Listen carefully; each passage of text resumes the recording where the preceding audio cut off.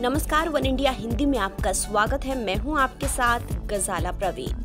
Bihar board ने कक्षा बारहवीं का रिज़ल्ट जारी कर दिया है। इस परीक्षा में कुल अस्सी दशमलव पंद्रह प्रतिशत छात्र पास हुए हैं। कक्षा बारहवीं की परीक्षा में कॉमर्स से अंकित कुमार गुप्ता आर्ट से संगम राज, साइंस से सौरभ कुमार ने टॉप किया है।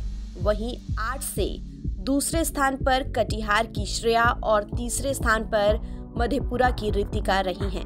अब बिहार बोर्ड के टॉपर्स को सरकार की ओर से इंटर के तीनों स्ट्रीम के छात्रों को एक एक लाख रुपए का इनाम दिया जाएगा।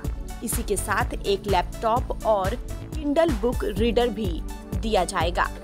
दूसरा स्थान हासिल करने वाले परीक्षार्थी को पिछहत्तर हज़ार रूपए, एक लैपटॉप और एक किंडल ई बुक रीडर पुरस्कार के रूप में दिया जाएगा, जबकि तीसरे स्थान हासिल करने वाले छात्र को पचास हज़ार रूपए, एक लैपटॉप और एक किंडल ई बुक रीडर पुरस्कार के रूप में दी जाएगी। इसके अलावा तीसरा स्थान हासिल करने वाले परीक्षार्थियों को पचास हज़ार रूपए के अलावा एक लैपटॉप और किंडर ई बुक रीडर दिया जाएगा।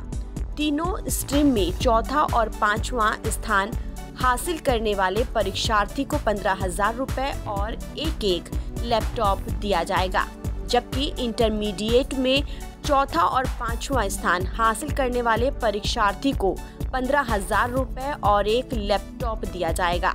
वहीं दसवीं में चौथा और पांचवा स्थान हासिल करने वाले परीक्षार्थी को दस हज़ार रूपए और एक लैपटॉप दिया जाएगा।